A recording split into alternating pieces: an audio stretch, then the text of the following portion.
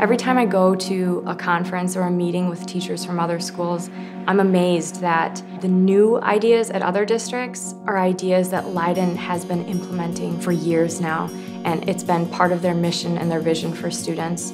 I think it's great as a teacher to be part of that community that's on the forefront of new ideas. I think Leyden is different from other high schools, particularly big high schools, in that we have a big city kind of a feel, lots of kids, lots of programs, lots of opportunities, but we really have a small town interaction and relationship feel. When you come to Leyden, you can expect that teachers and students will receive you with open arms and that you'll be at home here. There are many students from all over the world, which makes Leyden a unique place. Like I said, we value traditions, different cultures, different customs, and students really have a sense of belonging because they feel like they can bring their ideas, their traditions and customs, and really work with others and share those ideas and make them feel like home. We were one of the first classes to graduate all four years with the one-to-one -one Chromebook opportunity.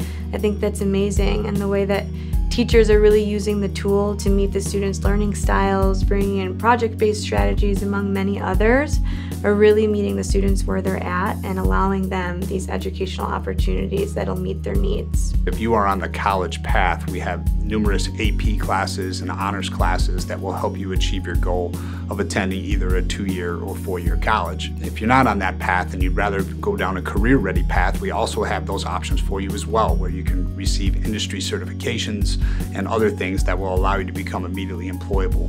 So really Leyden does provide something for every student that comes to our school. They try to get students um, thinking about their future after high school and that's one thing I really really love about this school is they make an effort, they get students thinking like, okay, what's your next step? We have this huge thing called hashtag Leyden Pride, and I think it's a voice for students to come out and say, these are things I'm really proud of about the school that I'm involved with. These are things that I do, these are things that my school does. This is a way for me to show off. I'm really happy to be in this place. We talk about kindness and we talk about finding your passion and committing to excellence by, by truly giving them the opportunities to follow what they're passionate about. So, you know, whether that be you know, college and, and university and they really want to be prepared for that, they can choose an AP track.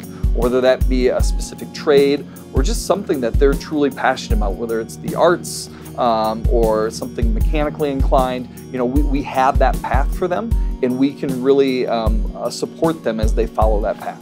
I work with adults that care deeply about their students and kids can tell that their teachers care about them. You know, when everyone gets here as like a freshman, fresh out of eighth grade, it's usually like, oh, well, I'm from Rosemont, oh, I'm from Hester, I'm from River Grove. But once they leave here, it's usually just, no, I'm from Leyden.